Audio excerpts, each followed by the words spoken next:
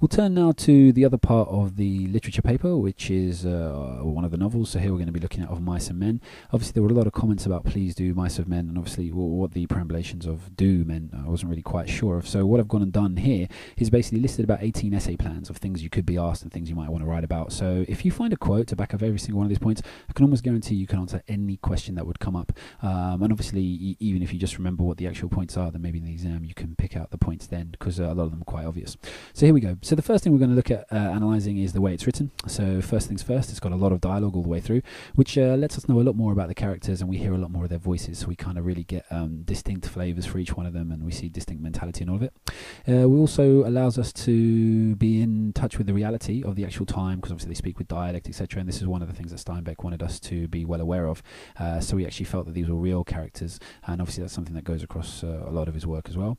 And also it puts us there, which actually we'll come to in a little bit, because it's a very cinematic feel to this, and obviously being with the, uh, spending a lot of time with the dialogue, and with the characters themselves, being kind of on their lips or at the edge of their lips, um, it really kind of puts us up close with them. And this is obviously an intimate study of uh, a bunch of failed people, and so that's why we want to be that close.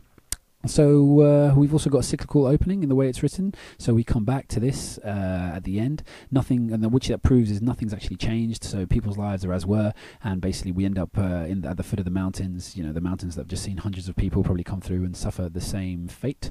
And that's really just a comment on the theme of the book about the American dream, its fallacy, and how no one can really succeed in such a harsh environment. The book's written over a very short space of time, which uh, reflects the poem from which the actual title comes from, because um, Steinbeck's actually based this on a poem called um, To a Mouse, where basically, uh, when he was working in the field one day, he struck through a mouse's house and destroyed it, and obviously the mouse was then going to die in winter, and he felt bad about it. He wrote the poem, and then obviously Steinbeck's taken the idea and actually said that obviously people's lives are destroyed as well. So it's shed over a short space of time, so you actually see the spikes in people's lives, the changes, and, and just see how life can actually affect people people very quickly. Um, we've got loads of vivid descriptions, and this is really, really important. Obviously, all the settings, all the places that we're actually in, you, you, see some of the words and the adjectives used to describe them, and some of the unique metaphors and similes he uses. And there's almost like a haunting feel, like we're there, but sometimes we shouldn't be because we know something bad is going to happen, and we come to that in a moment at signposted ending.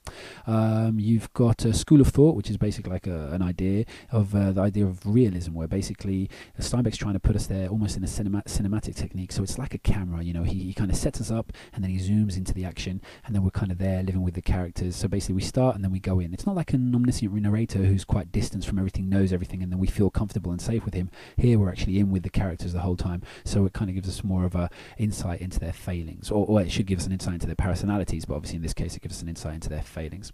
Obviously there's symbolism all the way through, which we'll talk about in a second, and there's contrast, lots to be picked up with light and dark, and obviously silence and sound. Obviously the uh, the the the way that um, Curly's wife comes into the barn at the end, comes to mind, etc.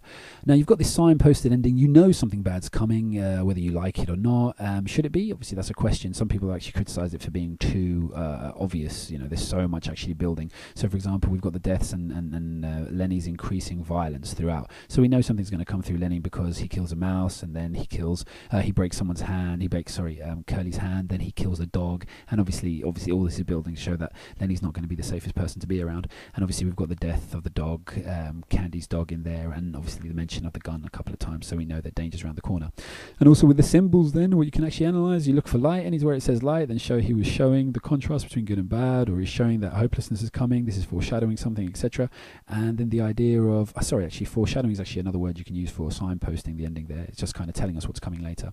We've also got all the references to the animals, and obviously the animals to people, both in uh, Candy's dog and Candy, uh, sorry, Candy's dog and Lennie, and also you've obviously got the deaths, showing the death will actually come later. And then you've got colours, so most obviously you've got the red of Curly's wife's clothing, etc., which kind of denotes that she's not going to be a safe person to be around.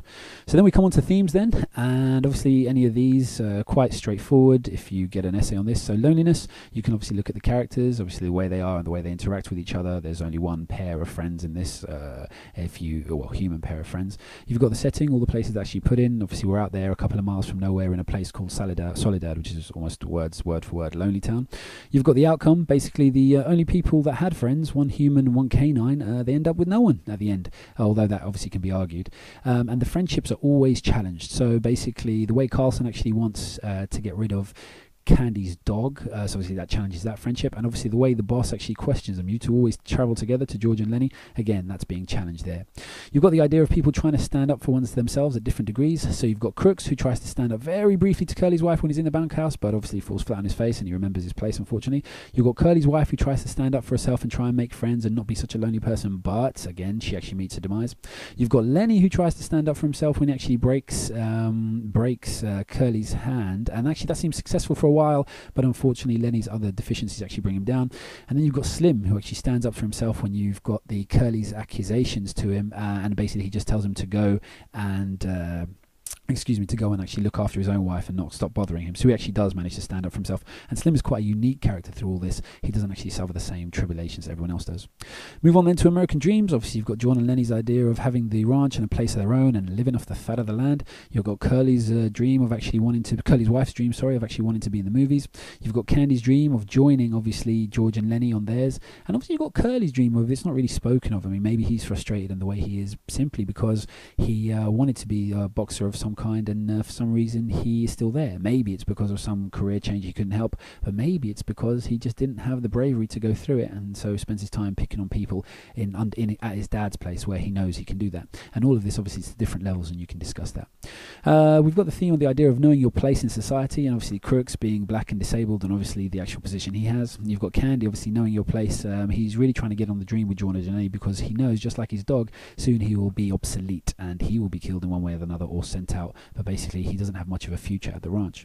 You've also got the little breakdown, sorry, knowing your place with Lennie, because obviously he knows he needs to listen to George and etc. etc. so he's kind of docile in that way. Now, this is obviously a strange one, life as is. Obviously, that's the reality of this, is kind of showing a real life, because that's something that Steinbeck was really, really interested in showing us. This really happened to itinerant workers. You know, they would come, they would get their $50 a month, they would go spend it on hookers and booze, and then just do the same again next month. It'd be like living in a terrible version of Groundhog Day. And he wanted us to know that life was difficult, and there were those who pretended that it was bad, uh, sorry, pretended that it wasn't bad, and obviously suffered for it. So, uh, for example, Crooks, when he's in his bunkhouse and he actually starts picking on Lennie, I mean, the, the, the, the thing he needs there is a friend, but obviously just because it's so he's trying to pretend that he's tough, etc. Um, he tries to actually push him away. Similarly, with Curly's wife, she's actually not another one of those people where she tries to imagine that she could have actually had a life, etc. Where really she's probably just been used by that person who was claiming to be a director. Um, obviously, you've got the idea of people not helping themselves at all. And obviously, Crooks does that as mentioned, and Curly's wife does that as mentioned. But obviously, Crooks survives, so you've got a different degree of it there. Whereas Curly's wife actually dies, uh, and, and, Crooks obviously he's needed at the uh, at the ranch, etc. So we move on then to the characters because you could get a character uh, question on characters, and this is probably going to be the longest part of this uh, video, but it is well worth remembering when you actually come to planning your essays. So George is seen as caring to Lennie. He obviously has a dream himself. He gets annoyed quite quickly and thinks about another life when he's looking after Lenny. He's smart because he actually dictates all of Lennie's movements and make sure that he's got a plan B to, so Lennie knows to go to the brush. He's cautious when he actually meets Curly for the first time and he knows it's not going to be something very good for him and cautious also over Curly's wife. He's needy at times as well and uh, we can see that in the times that he actually hangs around with Slim and the way the conversation he actually has with Slim is kind of he's not it's not like how he talks to anyone else. So obviously we know he has a need as that and it's not being the friendship need anyway is not being satisfied through Lennie. We know he can do the right thing even though it's difficult. Obviously he has to shoot his friend and obviously he goes through the idea of losing a friend or maybe it's a burden. obviously that's open to interpretation. And then at the end, and this is a, another actually rendition of how it could be, he actually finds a soulmate.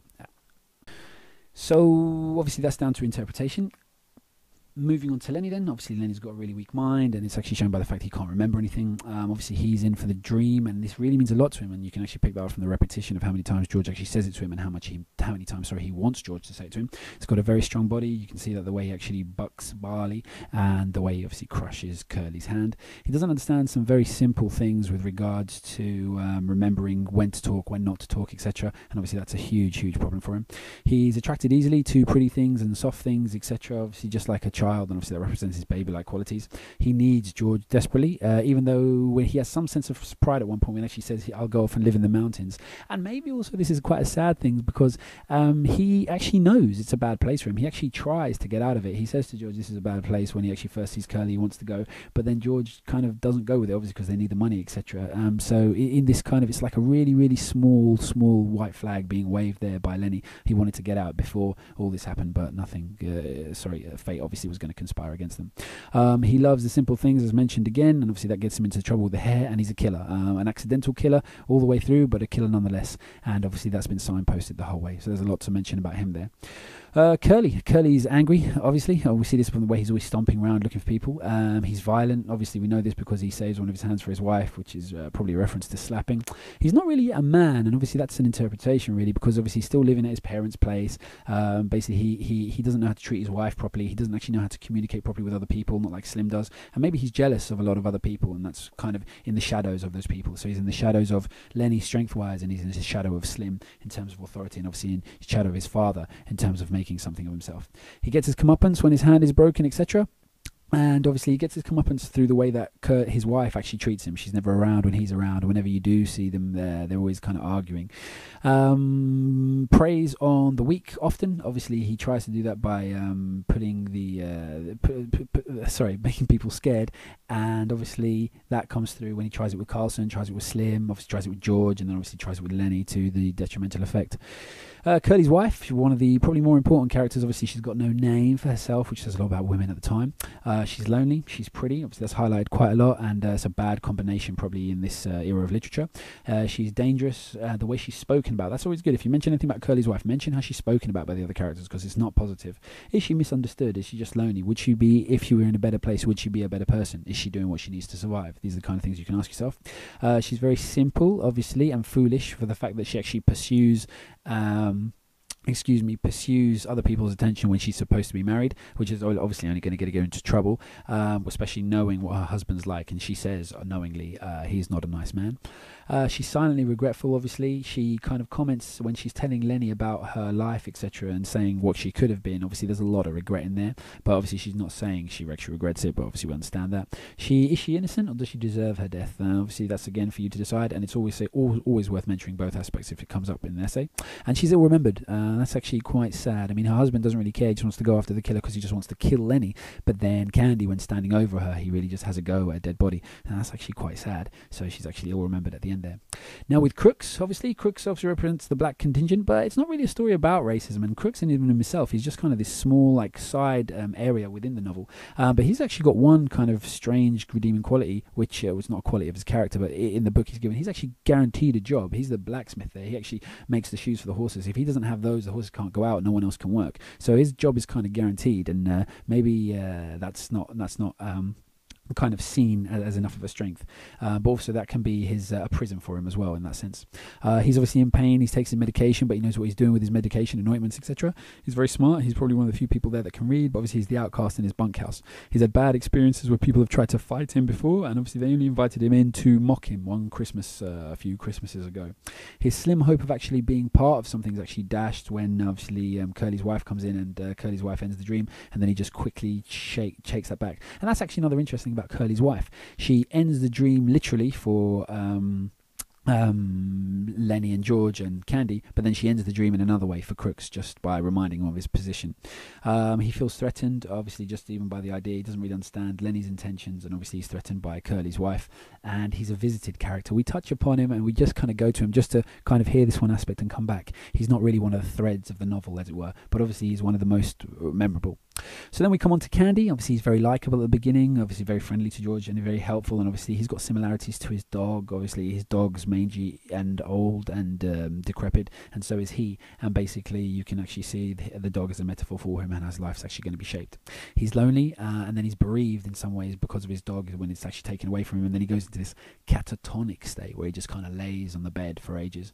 And then he's offered this hope that he actually overhears, uh, and then he, you know, he, the world is just brightening again. And that's actually a really interesting concept. It's just these ideas, and obviously, the American dream is probably all about just an idea. But um, it's uh, when everyone's offered these ideas, that's actually what makes them feel that they can do and achieve and actually stretch and go somewhere. And um, it's just the it, nothing actually changes very much from when he's offered this hope to when the hope is dashed. But obviously, the the way they can talk about it's gone now. Um, in fact, if you wanted to look at it another way, it's actually quite a happy ending. George loses Lennie, loses his burden. He finds a good friend in Slim. Candy still got his money, still obviously got the opportunity of the ranch. So there is that way of reading it, but I think people will you quite cynical if you uh, try to just uh, uh, wipe over Lennie that way.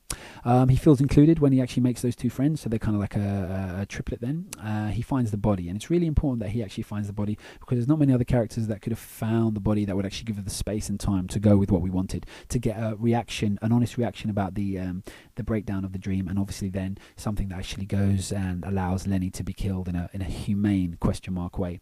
And obviously he has his hopes dashed when he finds the body. And lastly, then we got Slim. Uh, Slim is obviously godlike. He's in control the whole way through, and there's no one else that's written about the way Slim is. Slim is only written about favourably, and maybe this is uh, kind of like a hero-like figure. It'd be interesting actually if you find out who Slim is based on or who Steinbeck was actually thinking of, etc. He's knowledgeable at all times. He reassures people when there's actually troubles, and he asserts himself. I mean, he asserts himself. Basically, it's kind of his nod or his kind of say so that allows for the dog to be killed, etc., uh, etc. Et and obviously, the the stable hands are all listening to his instructions when they're actually out working. Now, at the other end of stable, at the other end of the spectrum on the barn uh, from uh, sorry on the farm from Crooks. He's got a guaranteed job as well, and obviously that makes him very important. Uh, and obviously they maybe have a mutual respect for each other, and we do see them kind of interact with each other with respect. And obviously at the end uh, we end up a place where obviously he reassures again, and maybe has he found the friend he's looking for now in George, and has George found the friend in him? So if you find quotations for any of those, you're you're going to be well ahead of uh, what you want to be doing. Uh, sorry, how you want to be doing in terms of grades. but and when you come to writing your points, I mean the best advice I can offer you is obviously look at the um, examples that are there. But basically, if you do this, you're not going to go far wrong. Plan. So obviously, just try and remember some of the items that we've discussed here. When you come to your essay, mention a point, give a quotation, and then explain the meaning of that quotation and analyze it. Now, there's several things you can analyze. Analyze, uh, analyze some of the language, or analyze a link that could be made to another character, analyze one of the ideas or themes. So that's the things that are actually mentioned up the top here. Any one of them. Try and get them in each one of your paragraph. A different one obviously is better. And also look at how it links to another point in the book somehow, because there's lots of kind of connections to be made here. And do this obviously as much as you can. But if you do it four or five times, I can't see any reason why you would uh, why you would get less than a, a very good grade. Good luck.